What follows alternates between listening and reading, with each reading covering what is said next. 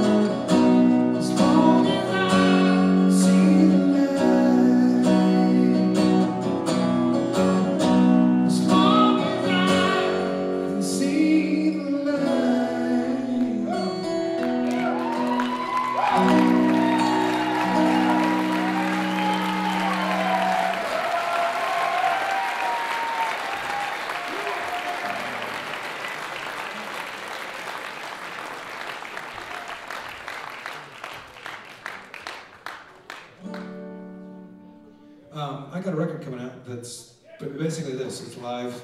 It's the first tour I did through here. I, believe one of the songs is from Connecticut. I, uh, I think so, yeah. And uh, there's one song on it that was never released in any other way.